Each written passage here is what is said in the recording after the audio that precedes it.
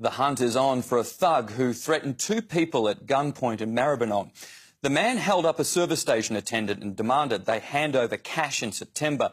Police believe he also pointed a gun at a pharmacy worker last month.